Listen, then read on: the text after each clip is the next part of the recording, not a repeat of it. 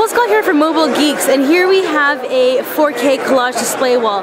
Now this might seem like, oh Nicole, we've seen 4K displays before, but what's amazing about this one is that this is actually running on an Intel i5 Ivy Bridge processor. So this is going to be a, a, feature that they're adding to Ivy Bridge processors existing on the market, Core i5, Core i7, uh, in late Q4. So this is going to be coming out later this year.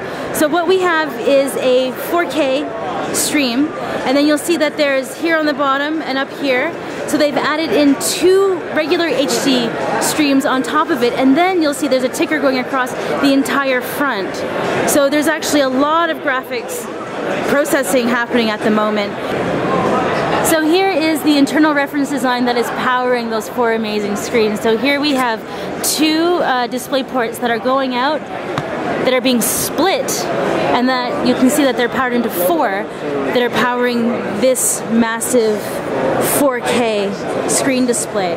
And so remember guys, this is all being powered by an i5 mobile processor Ivy Bridge, third generation, everything that we're seeing standard out right now on most Ultrabooks. So, I mean, I'm, I'm, I'm really impressed. I don't know about you, as a late addition um, to the processor lineup. So, so look for your driver updates um, in late Q4. Nicole Scott from Mobile Geeks checking out some new technology here at IDF 2012. What?